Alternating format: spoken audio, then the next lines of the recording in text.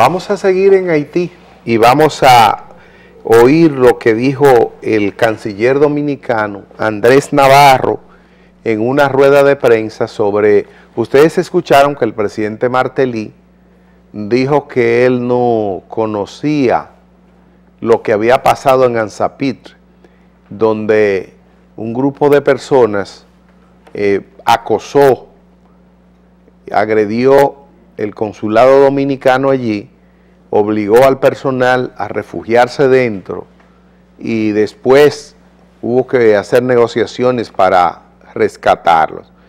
Martelly dice que no sabía de eso y el canciller dominicano, Andrés Navarro, dice que la República Dominicana va a hacer todo lo posible para proteger a su gente en los consulados, a su personal diplomático en Haití. Vamos a ver una historia de Andrea Ramos sobre eso. La Cancillería va eh, a asumir una serie de medidas preventivas con nuestras misiones, con la embajada, con todos los consulados, para que en ninguna situación como esta, por lo menos lo que eh, tiene el alcance la República Dominicana en ese territorio, eh, pueda eh, suceder, ni tampoco que se ponga en riesgo el personal nuestro apostado allá. Ustedes comprenderán que el servicio consular de la República Dominicana en Haití tiene una función clave, porque precisamente desde ese país es donde hay mayor flujo migratorio hacia el nuestro, y por tanto la densidad, eh, la magnitud de los servicios consulares es mucho mayor que en otros destinos.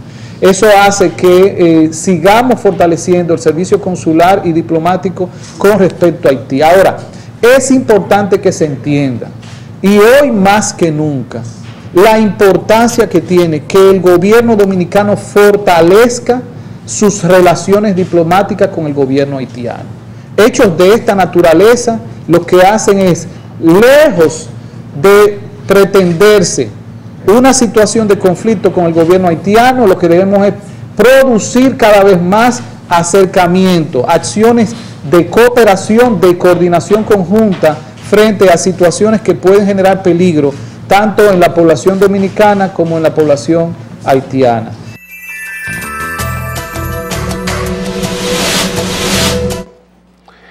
Bueno, el gobierno dominicano se ha manejado con la prudencia de vida como debe manejarse un gobierno y cada vez que se hable de eso, debería hablar el canciller y no ningún otro funcionario caraverita que no tiene nada que ver con la diplomacia.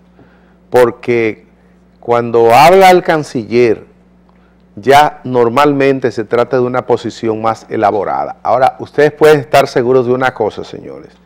En Haití, ahora mismo, no hay una institucionalidad que opere y que garantice la integridad de nadie.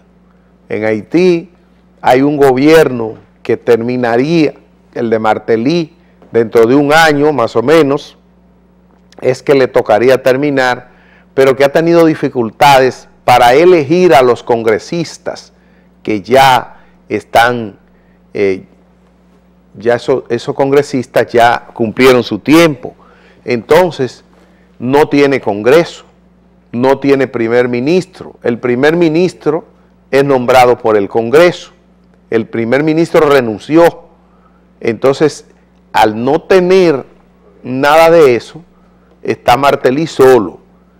Para que no haya una crisis mayor de lo que se espera, ha habido una reunión entre los partidos políticos para que Martelly pueda terminar su gobierno eh, gobernando por decreto, pero eso todo el mundo no está de acuerdo.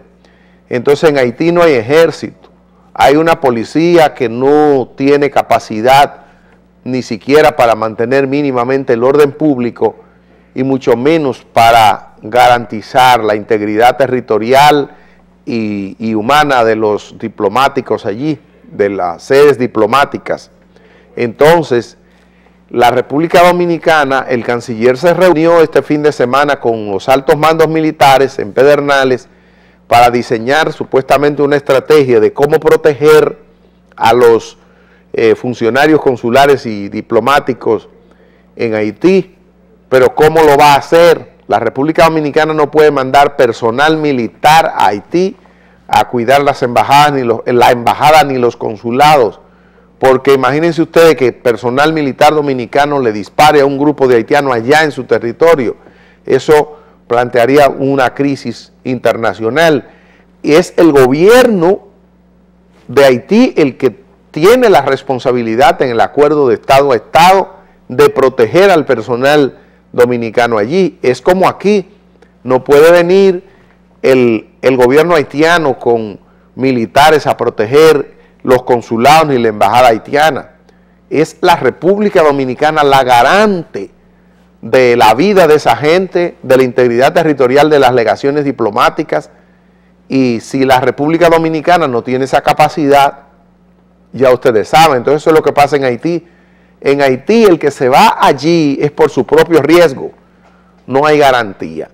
De manera que mientras la crisis política esté en Haití como está, lo más conveniente es que República Dominicana refuerce su frontera, que refuerce su frontera y su personal diplomático y consular, si en un momento determinado continúan las agresiones en su contra, retirarlo acá en lo que Haití reclama, eh, retoma el control institucional.